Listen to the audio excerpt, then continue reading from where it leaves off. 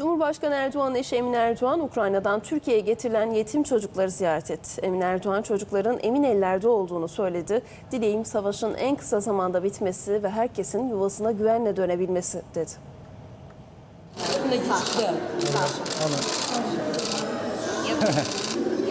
Bak size. Emin ellerde olduğunu gördüm. Çok mutlu çocuklar.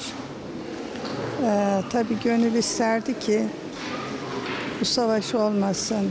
Kimse yerinden yurdundan edilmesin. Annesiz babasız kimse kalmasın isterdi.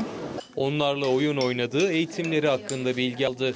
Cumhurbaşkanı Erdoğan'ın eşi Emine Erdoğan, Ukrayna'dan Türkiye'ye getirilen yetim çocuklarla buluştu. Bravo, alkış yapın.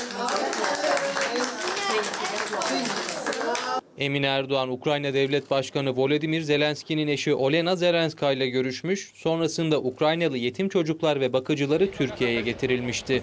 Emine Erdoğan, Odessa Soneçko Çocuk Evi'nden Ankara'ya getirilen yetim çocuklar ve bakıcılarını misafir edildikleri Aile ve Sosyal Hizmetler Bakanlığı'na bağlı çocuk evinde ziyaret etti. Olena Hanım'a da selamlarımı, sevgilerimi yolluyorum.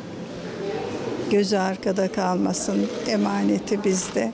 Her şey yolunda. Aile ve Sosyal Hizmetler Bakanı Derya Yanık'ın eşlik ettiği ziyarette Emine Erdoğan eğitimleri ve sağlık sorunları bulunan çocuğun tedavi sürecini de görüştü. Sabah girdiler, eee, şimdi de onun ödevleri. Emine Erdoğan, Ukrayna'da zor durumdaki çocukların tahliyesine yönelik sürecin devam edebileceğini, Türkiye'nin her zaman yardıma hazır olduğunu da söyledi.